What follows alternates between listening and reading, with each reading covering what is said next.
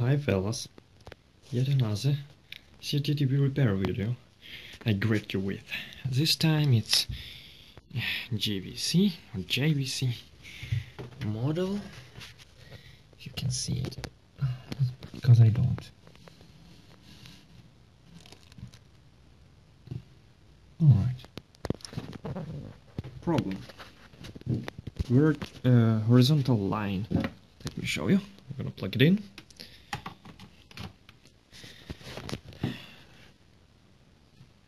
I'm gonna turn off my lamps here so it will not interfere with camera.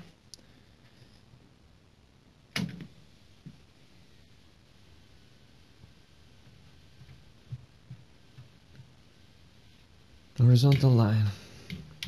Immediately, let me turn it off because it gets it gets uh, bright and will damage the phosphor. Problem most likely can be a bad yoke or it can be a bad vertical deflection circuit. Further, further inspection will tell me for sure. By the way, I have yet another TV there, which is some Chinese ripoff like Patriot or whatever. I'm gonna repair that next.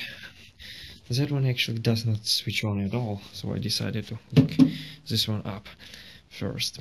Can could be some bad capacitors, but I'm not for sure. I'm not sure about this.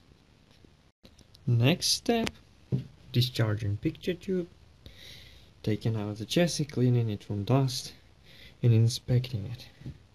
Now, one easy way to find where uh, the vertical deflection can be is to follow the wires from cables from yoke. This yoke, yeah, alright. This cable is what connects to yoke, and it goes here near the flyback because horizontal um, deflection coil uh, actually yeah horizontal deflection coil actually tied to the flyback in some manner and is driven by the same transistor as flyback is. Uh, vertical deflection must be that radiate that heating that you barely see this one which is a uh, which cools down the IC in SIP package I don't know how much pins it, it has but to count so let me take it out and I'll show you more. Okay, I found a problem and already fixed it, so now I will show you what I did to find it. Firstly, as I mentioned, I went... Uh, excuse me? I went uh, where the yoke cable goes. You can see that a huge connector which uh, contains gray, yellow, blue and red wires.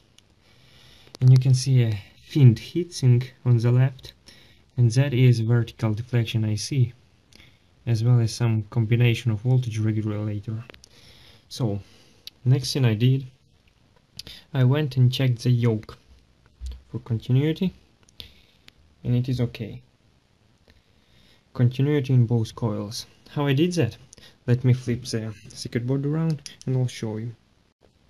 Alright, you can see artistic lighting. Here is that IC in SIP package. As I mentioned, SIP stands, SIP stands for single inline package. You can see how many pins. I ain't gonna count it. So that IC is this.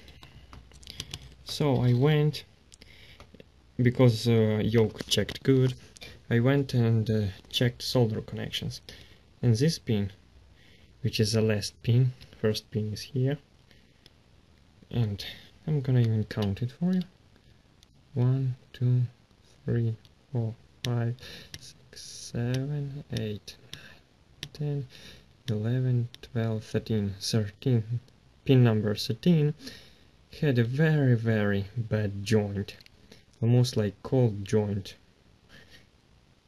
Even rather dry joint, practical no solder on it. Despite being looking crunchy, it had so little solder that I went with my soldering gun and de resoldered, reflowed every single pin on this IC. And now it works. To prove, I'm gonna show you. Let me put it back, switch off my artistic lighting, and I'll be ready to rock. Alrighty everybody. I connected everything back, hopefully. Yeah, seems like that. And uh, because PCB is not fixed in any way, you can see it wobbles. Even if I'm gonna push the key, push the switch, it will basically watch will happen. Boom, the switch is not pushed. So that's why I have a couple of lead acid batteries around.